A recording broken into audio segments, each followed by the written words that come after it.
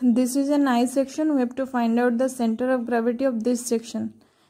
So this horizontal portion is called flange and this vertical portion of this I section is called wave. So this is the bottom flange this is the wave and this is the top flange.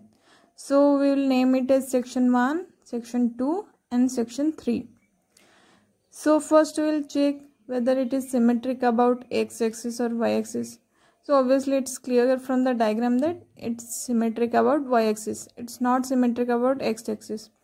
So obviously its center of gravity will lie in the y-axis only. So definitely we, are known, we have known the x coordinate. So we don't need to find out the x coordinate. We need to find out only the y coordinate. So there are three cross sections. So we will write the formula y bar equal to a1 y1 plus a2 y2 plus a3 y3 divided by a1 plus a2 plus a3 as there are three sections. So a1 is the area of first section. So a1 is 300 into 100 mm square.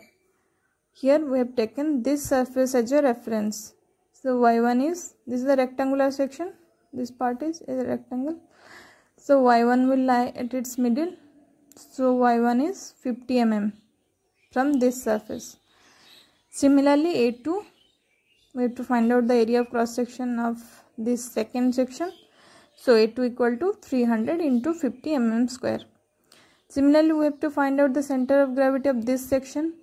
So this is the rectangular section so its center of gravity will lie at its middle so 300 by 2 that is 150 mm but we have taken this surface as a reference. So from here its CG will lie at a distance 150 plus 100. 150 plus 100 that is 250 mm. Similarly we have to find out the area of third section. It is also recta it is also a rectangle. So area is 150 into 50 mm square. Similarly we have to find out the CG of this section from its reference plane. So its CG will lie at its middle so 50 by 2 that is 25 mm but we have to calculate from this surface. So the total distance is 100 plus 300 plus that is 25 this is 100 plus 300 plus 25 that is equal to 425 mm. So finally we will put the values in the formula. Y bar equal to a1 that is 300 into 100 into y1 y1 is 50 a1 into y1 plus a2 into y2 y2 is 250 plus a3 150 into 50 into y3 divided by a1 plus a2 plus a3 we will calculate the answer. Next we will solve another geometry. This part is a square cross section and this is the triangle so we'll check. It is symmetric about which axis? So it is symmetric about y-axis you can see if we'll cut it from this axis. This part and this part are the mirror image. So we will find out the area of this section. A1 is 100 into 100 mm square. As it is a square cross section we will find out the y coordinate as the center of gravity will lie in this axis only. Y axis so from we will take this surface as a reference. So from this surface its center of gravity will lie at its middle so 100 by 2 that is 50 mm. Next we will calculate the area of the second cross section that is the triangle. So we know that area of the triangle is half into base into height. So half into base is 100 height is 50 that is that mm square. So next we will calculate y2 so y2 is the center of gravity of this triangular portion from this reference. So we know that for a triangular cross section, center of gravity lies at a point where three medians intersect. So that is at a distance h by 3 from the base of the triangle.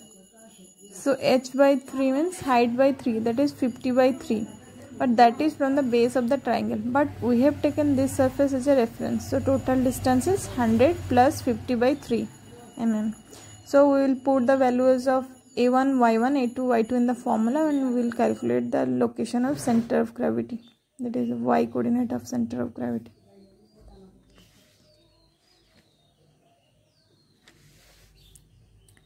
Similarly this is another geometry. Here it is a rectangle and it is a semicircle. So you can see it is symmetric about y-axis so we will find out only the y coordinate because the center of gravity will lie in this axis only. So a1 is area of the rectangle 150 into 100 mm square. Y1 is the center of gravity of this section. I have taken this surface as a reference. So y1 is 75 mm. Similarly a2 area of the semicircle that is pi r square by 2 that is pi here the diameter is given as 100 so radius is 50 so area is pi into 50 whole square by 2 similarly we will calculate the values of y2 y2 is the center of gravity of this semicircle. Y2 is the center of gravity of this semicircle from this reference plane. But we know that center of gravity of this uh, semicircle is 4r by 3 pi from this base this portion. So from here the center of gravity is 150 plus 4 into r is 50 divided by 3 pi that is the y coordinate of this second section from this reference. So we will put these values in the formula and find out the answer